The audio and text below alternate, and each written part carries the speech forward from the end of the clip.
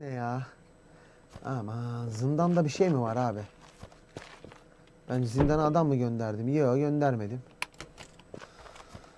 Gidelim bir kumar oynayalım. Şuradan da paramız gelmiştir herhalde ya. Allah hasılatı baba.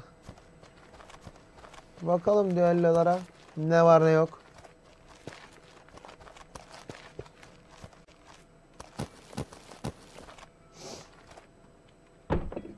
Yenge hanım hasta değil.